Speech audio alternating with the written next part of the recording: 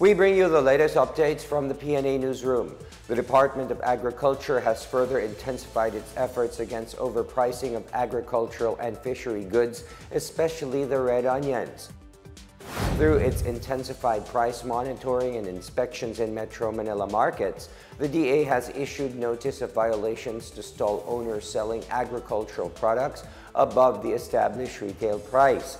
In Munoz Public Market and Commonwealth Market, Task Force Bantay Presyo found two stalls violating the SRP for red onions in a surprise inspection on February 14. On February 15, DA inspectors issued a notice of violation to owners of three stalls in the Balintawak Public Market and two stalls in Quinta Market for selling overpriced onions. The task force also inspected the Mega Pasig Market on February 16, where two stalls were called out for selling onions without price tags. Eight other stalls were found selling overpriced commodities. As ordered by President Ferdinand R. Marcos Jr., the DA has set the SRP of imported red onions at 125 pesos per kilogram. The Commission on Elections plans to increase the honorarium of poll workers up to 10,000 pesos. COMELEC Chair George Erwin Garcia said the pay increase may start with the upcoming Barangay and Sangguniang Kabataan elections on October 30. If the increase pushes through, the honorarium will be 10,000 pesos for the precinct chairman, 9,000 for the members, and 8,000 for workers on election day. Garcia explained that after taxes are deducted, only a small amount is left to poll workers, prompting them to push for the honorarium increase. Meanwhile, Garcia said the COMELEC will hold a mock automated election in June for the 2023 BSKE.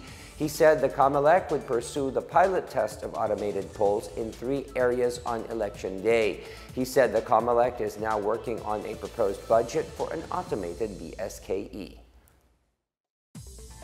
The Philippine Army launched back-to-back -back military exercises with counterparts from the United States and Australia to improve interoperability with allied troops. The Philippine Army 6th Infantry Division and the Australian Defence Forces 6th Battalion Royal Australian Regiment began the Philippine-Australia Army-to-Army exercise at Camp Sionco in Datu Odin Sinsuat, Maguindanao del Norte Army spokesperson Colonel Xerxes Trinidad said the activity aims to improve the capabilities and skills of personnel in urban operations, long-range marksmanship, tactical combat casualty care, intelligence surveillance and reconnaissance operations, and small unit leaders training. The exercise will end by the 31st of March. Meanwhile, the Philippine Army 7th Infantry Division and the U.S. Army's 5th Security Force Assistance Brigade launched the Warfighting Functions Exchange at Fort Magsaysay in Nueva Ecija. Trinidad said the exercise intends to meet mutual trainings and modernization objectives of both forces by exchanging best practices, lessons learned, tactics, techniques, and procedures. The Philippines, together with two of its most popular destinations, have been nominated for major awards in the 30th World Travel Awards Asia category. Cebu has been nominated as Asia's leading wedding destination, while Intramuros has been nominated as Asia's leading tourism attraction for the second year in a row after winning the title last year. In addition, the Department of Tourism has been nominated for Asia's top tourism board. The DOT said the Philippines is running as Asia's top beach destination after winning in the same category in September 2022. The Philippines is also vying for the title of Asia's top dive destination, which it held for four years in a row from 2019 to 2022.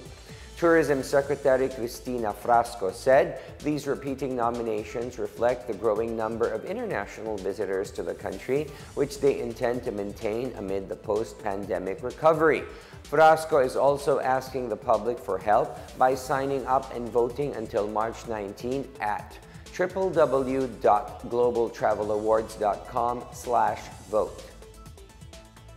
And that is the latest and the biggest stories from the PNA Newsroom. For more news content, visit our webpage or head on to the Philippine News Agency's Facebook and Twitter accounts. We are also shown on the social media pages of the Presidential Communications Office and on Radio Pilipinas RP1. Stay tuned for more news updates. I am William Theo. We tell stories that inspire change.